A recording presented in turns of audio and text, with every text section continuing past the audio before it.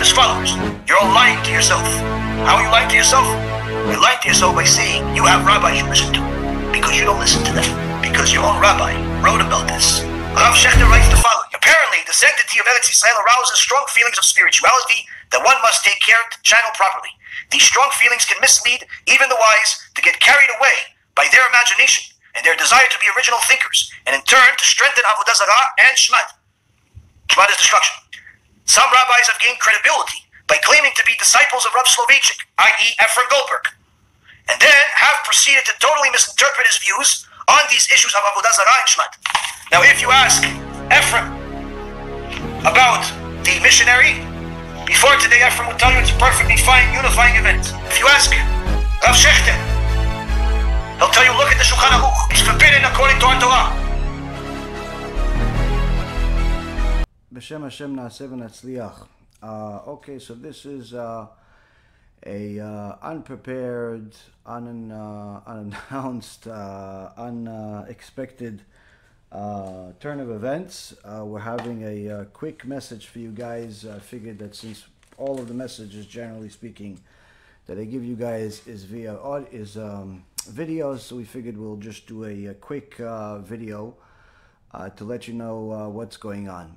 Uh, so. Um, uh, anyone that follows us closely, whether it's the uh, WhatsApp messages, uh, groups, or the newsletter, or Facebook groups, all of that stuff, uh, saw that we publicized a and reshared, shared a a letter that we got from in the name of Rabbi Shechter. Now. Rabbi Hershel Shechter is uh, supposedly the uh, the rabbi of Ephraim Goldberg, in regards to uh, this whole event where he's bringing this uh, Pastor Mario Bramnick. Uh, of course, this uh, Pastor Mario Bramnick is already we've verified. We've shown a endless evidence that he is a, missionary that specifically targets Jews. That's his life's work. That's his passion. That's uh, what he thinks his ultimate purpose is. There's really no question when it comes to that. Uh, so uh, we actually uh, have been trying to reach different rabbis for the last several weeks since this case came to us. Uh, and as I told you guys in the video yesterday and uh, the last few days, that uh, this particular issue has had an enormous amount of Yetzirah. As uh, Rav Ades Shichyeh uh, says, if you want to see miracles, uh, you have to fight against the, uh, you know, the missionaries, the Christianity, uh, as that is the uh, source of all Tumah in the world that's there today. But of course, at the same token, when you're going to go fight the Tum'ah, you're going to fight the impurity, you're going to fight idolatry, you're going to have a certain amount of uh, fight to the other side. You know, there's a, it's, it's expected that if you fight, the other side's going to hit back too. Unfortunately, you're not going to, you know, you don't usually expect the other side to be rabbis. You don't expect the other side to be uh, from Jews. Uh, but nonetheless, sometimes they are, as we saw in last week's parasha, uh, where we met the Erev Rav. Uh, Rabbi Shimon Bar Yochai in the uh, Zohar Kadosh says that uh, in the generation before Mashiach, the there's going to be an enormous amount of Erev Rav, and he even says the vast majority of rabbis and leaders and people in position of power are going to be Erev Rav. Erev Rav is, in essence, Jews that are uh, bad Jews, even though they are religious and they keep Shabbat, uh, but they're they're simply bad people. They uh, are uh, going to be the ones that fight against the Mashiach rather than fight for the Mashiach. So um, the point is that in the last few weeks, since we've publicized, you know, several videos, evidence.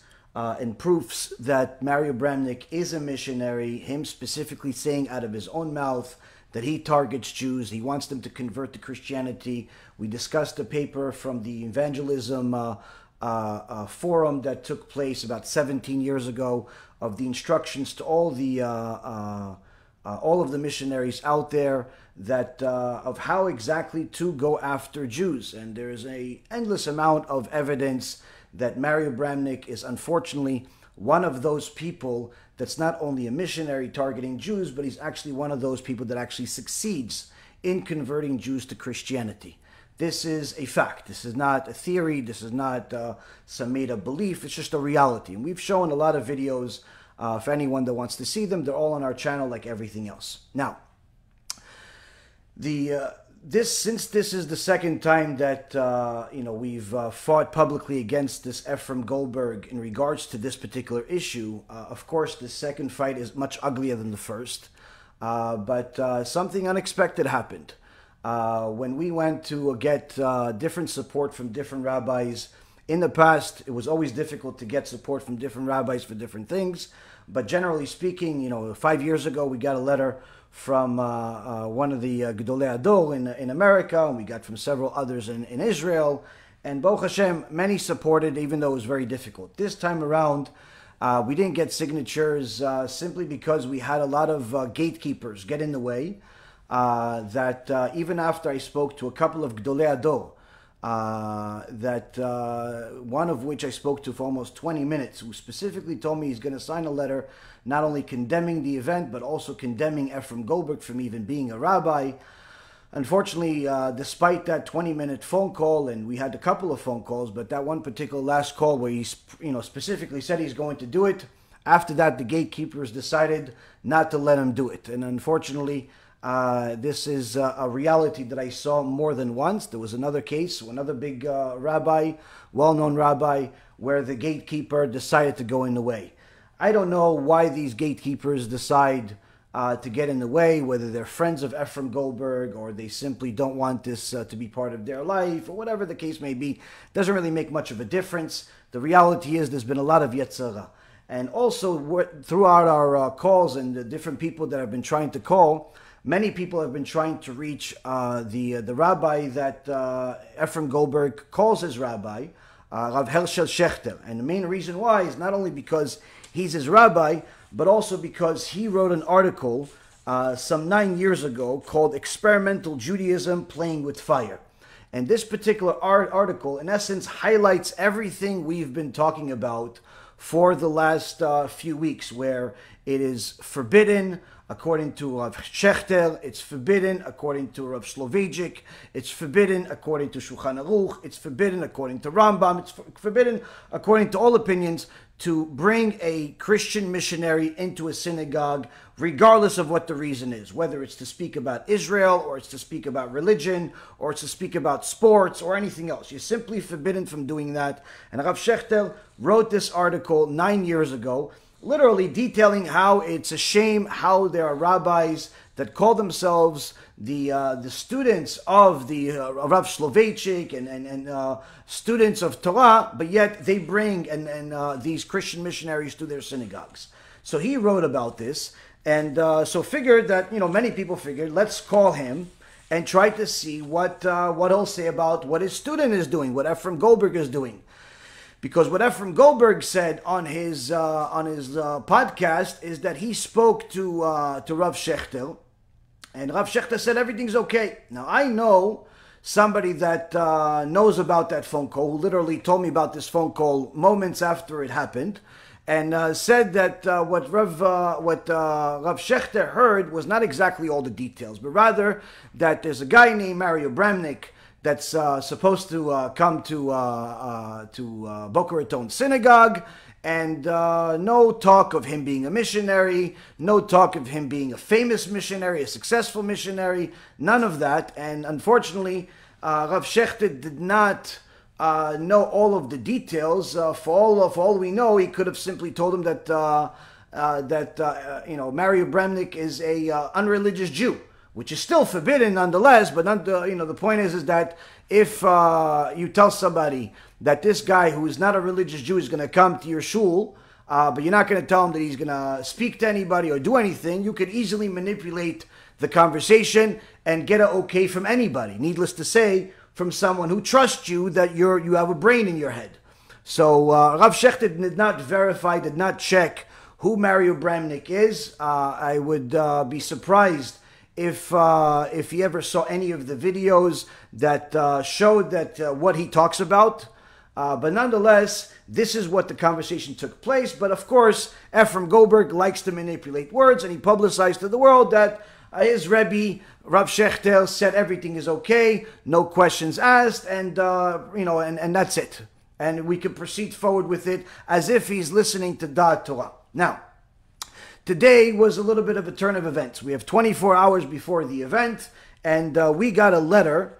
We got a letter emailed to us. Okay, we didn't write this letter, and uh, my attempts to reach Rav Shechter were unsuccessful. I was, uh, you know, calling the U.S. number. I didn't know that he's in Israel. Apparently, he's in Israel.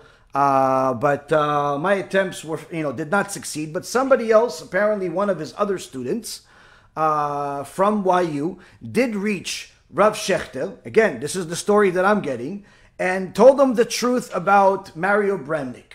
And Rav Shechter was livid about the issue. And again, I'm repeating what I was told uh, was livid about the situation, felt that he was misled by his own student, and apparently wrote a letter. Now, two versions of this letter so far have been published uh, that I got, uh, and uh, two versions of them. The first one had many spelling errors, and uh, shortly after, I don't know, maybe an hour later, another letter came out with uh, less spelling errors. Now, quite frankly, I don't care whether it's there is spelling errors or isn't spelling errors. I care whether it's legit or it's not.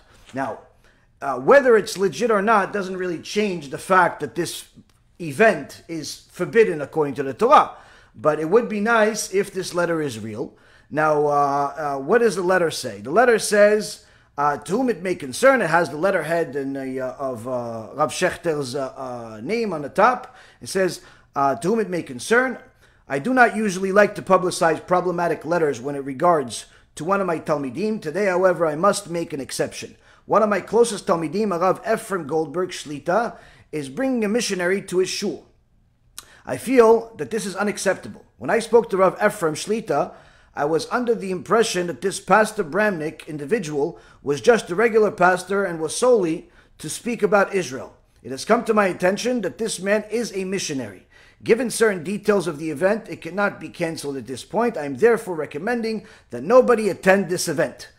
If one does attend the event, they should proceed with intense caution. Furthermore, I had written a letter regarding these types of events in 2012. I recommend you all read it. He is referring to the article that I mentioned, uh, Experimental Judaism Playing with Fire.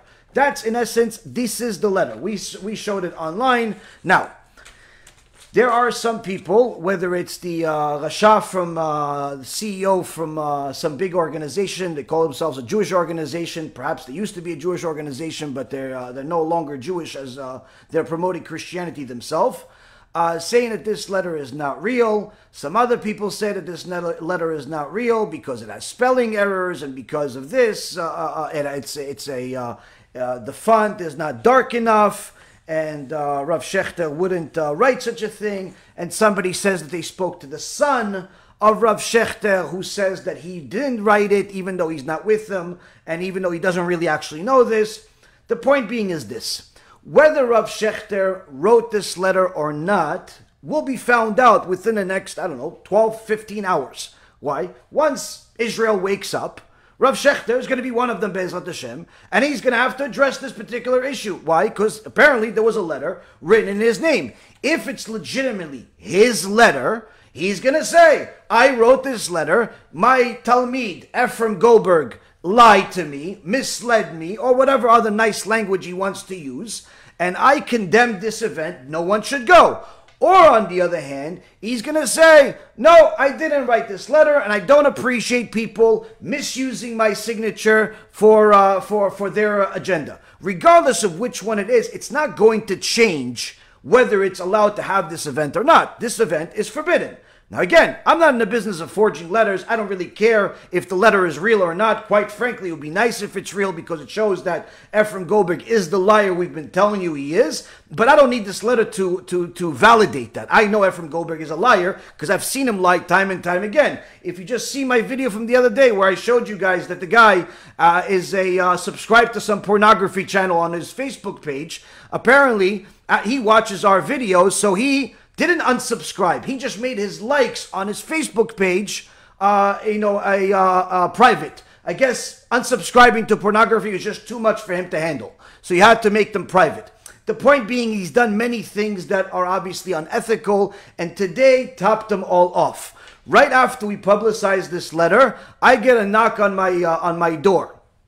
Uh, so I get I don't really get many people come to my house. Of course, my uh, my uh, rabbanit, my wife, God bless her, She comes to me, she says, I don't know, there's three people outside. I go, I, I open the door, I see three young men with guns and uh, and uh, and a uniform saying uh, you know detectives or, or, or police on them, and uh, they uh, they're here to talk to me. They have some uh, stuff in their hands, some notebooks and stuff like that. And say, yeah, we'd like to talk to you.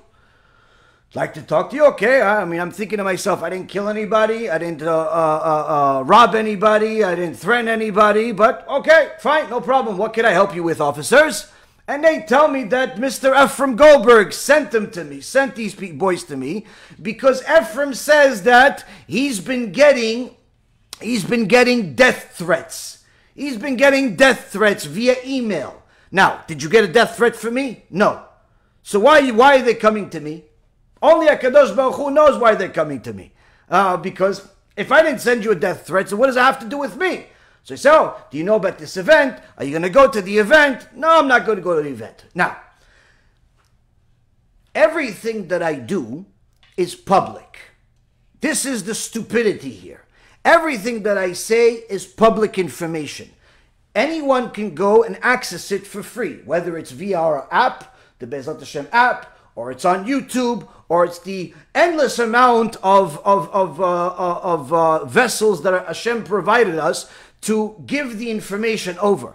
Everything I say is public. So if I ever threatened anybody, if I ever said I'm going to kill somebody, I'm going to beat up somebody, then obviously I must be uh, some type of sociopath. I must be some crazy person. But Ephraim forgot that apparently when he told the police to come to my house and uh, scare my three little baby kids that uh, you know that maybe their uh, their dad's going to go to jail. No problem. You'll just add this to your cheshbon. Now you're not only promoting idolatry, you're also moiser. You go and call the police officers on other Jews. Okay, so your judgment in, in, in Gehenom will just increase. The reality is, Rabotai, is just as I spoke to the officers who were wonderful people, very nice, very cordial, asking nice questions, getting the answers, understood everything. I explained to them everything that we're going through. I told them you can look at my YouTube channel. I gave them all my business card. They could all come whenever they want. Perhaps next time they'll let me know ahead of time so I could invite them for coffee too. But the reality is, Rabotai, is that you see how this Rasha Merusha is grasping at straws grasping at straws to do anything possible to silence the, the, the outcry that's out there. The people from his own community that do not want this event are being silenced. They even went to the YouTube channel, our YouTube channel, and filed a claim against one of the videos, which of course they are saying it's copyright infringement. We obviously know what we're doing. The video will be back up within the next uh, uh, few days or so because we didn't copyright infringe anything. We follow all of the laws, the laws of the land, needless to say, the laws of the Torah. But this Rasha Merusha and his minions are going to do anything possible. They will stop at nothing to silence the outcry for their acts. They will do everything possible. Now, again, I always remind you guys we do not promote violence. We're not telling anybody to go kill anybody. We're not telling anybody to go beat up anybody. You're forbidden from taking the law into your hands. What we say in our lectures repeatedly, because we know that there are sometimes crazy people out there. So we have to say it. We have to give the disclosures. Anytime I say death penalty, I always talk to you guys about it's at the time of the Sanhedrin. It's the time of Moshe Rabbeinu. It's not today. We're not allowed to kill anybody, regardless of what they do. Unless they're coming to kill us physically, we're not allowed to kill them. But the reality is, is that I cannot be in charge of the whole world. I say things according to the Torah. Of course, there are going to be some people that are crazy, that are going to do things, and perhaps maybe he did get, maybe he did actually get a death threat from some crazy person. That crazy person is not my student. That crazy person is not someone that listens to me. That crazy person simply decided to take the law into his own hands and decided that maybe he's going to scare Ephraim into canceling this event. Now, of course, we do not recommend anybody take any type of action, whether it's real or it's fake. Not a real threat and not a fake threat to harm people not Jews and not Gentiles. That's not our business. Our business is Torah. That's what our business is. We do not harm people physically. We let a Kadosh Baruch Hu do everything. We believe in one God and we don't need any person to help us. That's the reality, Rabotai. You have to understand when a person is doing something wrong, if they're in a, a position of leadership, my job, my job is to talk about these things and warn people and to at least let people know this is wrong. So if Ephraim or any of the other heretics out there that we've talked about are doing something wrong that could put, Jewish lives at risk, meaning their spiritual lives or sometimes even their physical lives at risk, I speak about it. And I tell you guys what the Torah says about it. I don't go tell you guys to go beat up anybody or kill anybody or whatever it is that people think in their crazy minds. That's not something that I've ever said a single second in my life, not even as a joke. I don't even like jokes like that. Why? Because I know that there's a lot of crazy people. But again, the reality is whether he got an email or he doesn't get an email, everybody knows that as soon as you get an email, you could easily look up the IP address and within a matter of seconds know exactly where that person is. And you know what they'll know? It's not me. It has nothing to do with me. It's not something that has my name on it. It's not something that is even connected to my computer. And I told the police officers, if you want, I'll give you my phone. I'll give you my computer. I'll give you everything. You could sit there. You could take it. Just give me something to work with because I need to work. But you could check everything you want. They all laughed. They said, no, we know it. We just have to do this because we got a call from Ephraim and his buddies. They're laughing at this. I have more surgeries on my body than than than, than Ephraim has since, probably. Uh, probably not. But the point is, is that the, uh, the to, to, say that I threaten this Rasha, I don't need to threaten him. I already know that Akadosh Baruch Hu is gonna finish him off at some point or another when the time comes. But the reality is, for for this Rasha to go and call the police on another person, to go and call the YouTube police on another person. He wants to silence us, shows that the message is getting out there. For those people that are seeking the truth, at the very least, our job is to have the truth available. Available out there. We want the truth to be available out there so all of you can make educated decisions whether to go, whether not to go, whether to eat, whether not to eat. Everyone, at the very least, is owed is entitled to see the truth. When the only version of the truth that they have is the lies from Ephraim and his buddies, that obviously puts a responsibility on us. It also puts a responsibility on all of the Rabbanim, all over the world that are, that are aware of this situation. Unfortunately, aside from Rav Mizrahi, almost nobody spoke about this event. No one has condemned it, and even the people that agree that it should be condemned don't want to do it uh, publicly. Why? They don't want to fluff their feathers. They don't want to inconvenience their comfort in lives, and unfortunately, they'll have to pay the judgment for that too. Why? Because when you are in a position of, of leadership, you have a responsible, you have a responsibility you have a responsibility not only to the people that are in front of you, but also the people that follow you, the people that read your work. And if you're not going to speak about these things and think it's not going to affect you, then apparently you live, you live in a different world. You live in a, with a different God. Our God is going to judge each and every single one of us for the good and the bad that we do. So again, this particular event is a event that is promoting idol worship. There's no, there's no question about it. Mario Bramnick is 100 million percent a evangelical missionary that is targeting Jewish people to convert to Christianity. No question about it.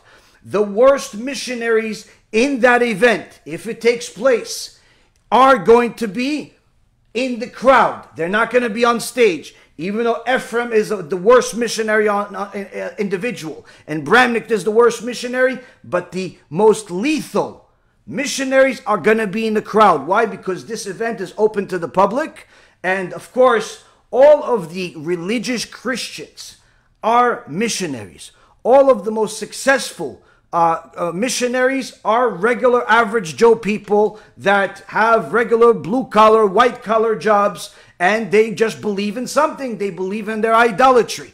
And they're going to tell you, listen, you know, you're a nice person. Why don't we have coffee? Why don't we have this? And they'll listen to your problems and you'll feel like you have a new friend. And once they see that they found you in a moment of weakness and you've opened up, that's when they're going to start telling you about all of the wonderful miracles that they saw because they believe in Yoshke.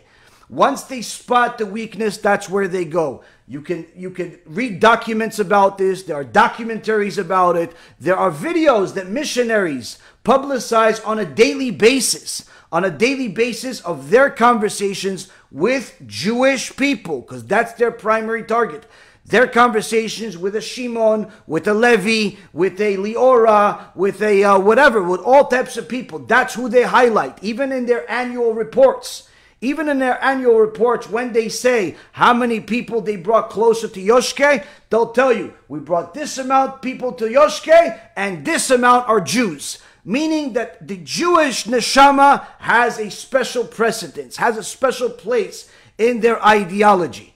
So to go and bring Mario Bramnick and then all of his followers to a place of worship, to a Jewish center, to a synagogue, is 100% putting the entire community in danger. And there's no doubt in my mind that there's going to be major spiritual damage as a result of this event. People will become friends with some of these uh, Christians, some of these missionaries, and unfortunately, not everybody in that community is strong. Not everybody in that community is aware. Not everybody in that community is going to be able to defend Judaism in the face of the Christian apologetics.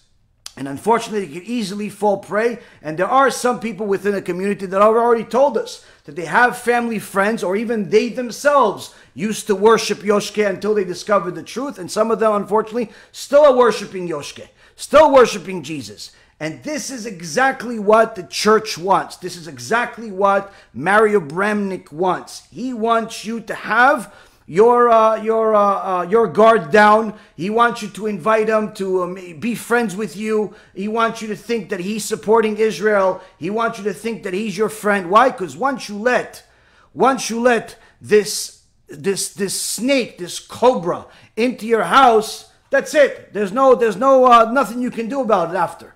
Once you let him in, that's it. You let all of his uh, all of his followers in. That's it. You have let hundreds of missionaries into your shul. So again, the event itself is forbidden according to halacha, no matter who you ask if they actually know. And again, whether this letter is real or not, we already know what Rav Shechter's opinion is. He wrote it nine years ago. Had he changed his opinion, he would have wrote a new opinion. So unless Rav Shechter writes a new opinion about what he thinks about inviting Christians and Catholics into a synagogue, we know what his opinion is. We don't need this letter to validate it. We think the letter is real, it should be real, but whether it is or not doesn't really make much of a difference because we already know what the halacha is according to the Rambam. We know what the halacha is according to Shulchan Aruch, which are much bigger than Rav Shechter could ever be, and he would agree with that.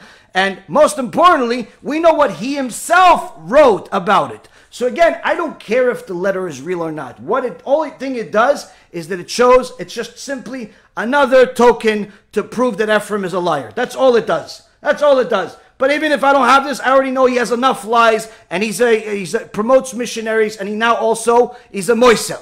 He calls the police on a fellow Jew. Even though we disagree, even though he may not like our disagreement, the reality is he knows that I never threatened anything, a hair on his head or hair on anybody's head.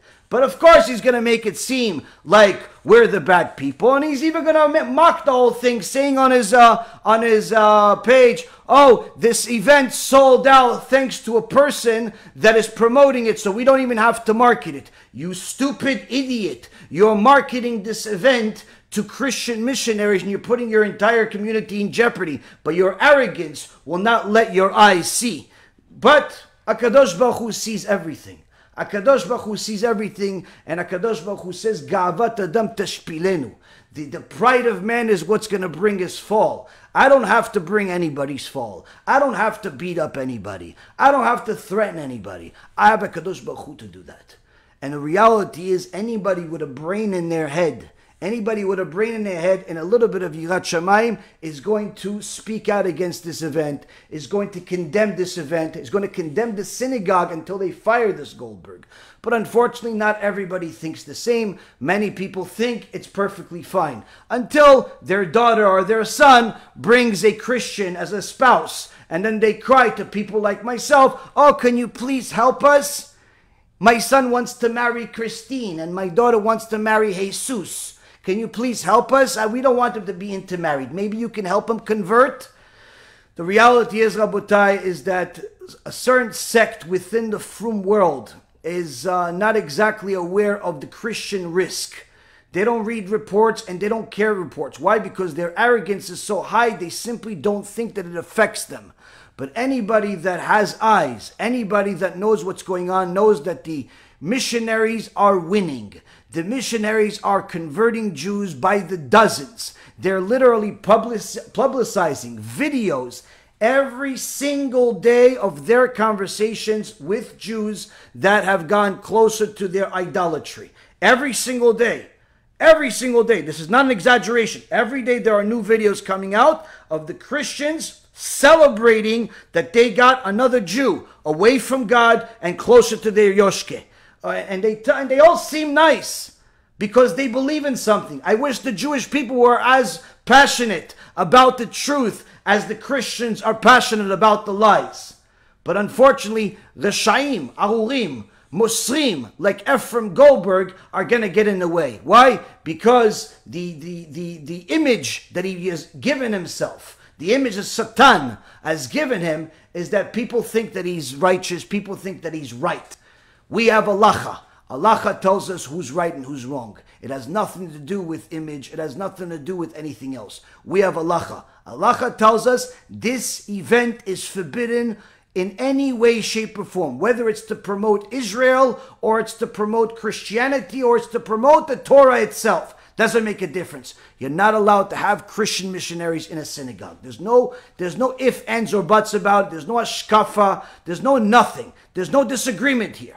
And again, in the next 24 hours, I assume, I assume that Rav Shechter is going to have to address whether the letter is real or not. Quite frankly, I don't care if he says it's real or it's not real because we already know the truth. We already know that the event is forbidden. It really, it's more for you guys than it is for us. I already know what the truth is. I already know what needs to take place. The event needs to be t- uh, uh, shut down and uh, canceled, and Ephraim needs to be fired. Whether that's going to happen or not, only HaKadosh Baruch Hu knows. What I'm here to tell you guys is, listen, stay away from these wicked people, just like Moshe Rabbeinu told Korah, told the people at the time of Korah, stay away from these wicked people, lest you get punished just like they do. But again, we don't mean punish like someone's going to kill you, someone's going to beat you up, someone's going to do anything to you. Do not threaten anybody physically. Don't harm anybody physically. Don't do anything other than simply delivering the truth in a paper, in an email, in a in a, uh, a uh, I don't know, text message. That's it. We can tell them what's allowed. We can tell them what's not allowed. We have no permission whatsoever to harm anybody. We're not recommending for anybody to do that. We never did and we never will. Why? Because we have God. And God is the only one that's allowed to take the law into his hands because it's his law after all. And eventually, people like Ephraim Goldberg will have to face that law. Thank you again for listening. Thank you again for the support. Thank you again for learning Torah with us. Bezrat Hashem, we'll have good news coming in the next couple of days from this uh, event being canceled, perhaps, or even more so, from us being uh, able to go back to a normal life that doesn't have to deal with these crazy people that send cops to our house because they don't want us to speak against their uh, idolatry. HaKadosh Baruch Hu will bless each and every single one of you. Chaim Arukim, Shlemim, Meleim Torah, Mitzvot, Miut Chasadim. Please pray for the Boca Raton community and all communities around the world to be protected by HaKadosh Baruch Hu himself from these missionaries, from this idolatry. Because in this generation, as the Gemara says, En al milismoch elai lavinu shebashamayim. We have nothing to rely on other than our God in heaven. May Hashem bless you and protect each and every single one of you. Kol tuv b'chav When we had him at Boca Raton Synagogue uh, with Rab, Rabbi um, Goldberg, um, we had a great time with him. There's so many things going on. We see the Jubilee year coming. Yes. The Shemitah year is coming. Yes. What does it have to do with Israel? Israel is very important. It's at the center of God's heart. Uh, everything started in Israel. It's now culminating with Israel. I really believe God is about to move. He's moving supernaturally, and God's move has to do with Israel. Um, uh, the glory of the Lord fell. I, I, I was in uh, the church with you when the glory fell several years ago. And the Lord spoke to us God is pouring out his glory upon the church to provoke the Jewish people to jealousy. Paul said in Romans 9, the glory belongs to Israel. Solomon saw the glory. Uh, um, David cried out for the glory. And I think that it, it, God is pouring out his presence. In other words, we need to listen to the signs and the hmm. four blood moons, but this is our greatest hour. In the midst of darkness and deep darkness, arise and shine, for God's glory is about to be poured out upon God's people, and I believe it's going to be a sign to Israel. You see, Israel has Judaism, and it's, that's a beautiful religion. They don't need religion, they need the reality of a living God who's working in signs, wonders, and miracles. Hmm. Jews ask for a sign. Mm-hmm. We are living in a convergence. Mm-hmm. God mm-hmm. loves mm-hmm. Israel. It was God's firstborn. God's covenant with Israel never ceases. I mean, it's an irrevocable covenant that was given by God with Jer- uh, the nation of Israel, Jerusalem, as the undivided capital of Israel. And just as God made a covenant with the church, and I think there's a convergence of the Jew and Gentile as the one new man in this day. We're really in the birth pangs of the Messiah. Uh, even the Orthodox community is feeling that the Messiah is coming back soon. And we're feeling those birth pangs as well. But as we conclude this segment from South Florida, from the United States of America, joining with our brethren throughout the world, we will not be silent.